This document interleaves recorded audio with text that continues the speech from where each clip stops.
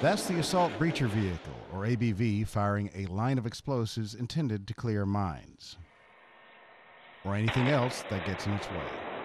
Private Pierce is a newly certified driver of the Assault Breacher Vehicle, a machine that weighs more than 70 tons. We primarily clear the way for our maneuver forces so that they can perform their tasks. We are ahead of the game. We are the, uh, the tip of the spear, I guess you could say.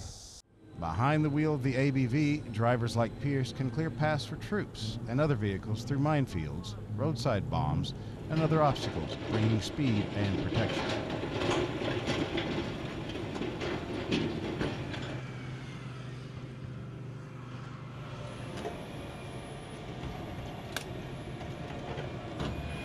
On the experience of handling the ABV, Private Pierce says fiction doesn't prepare you for the reality.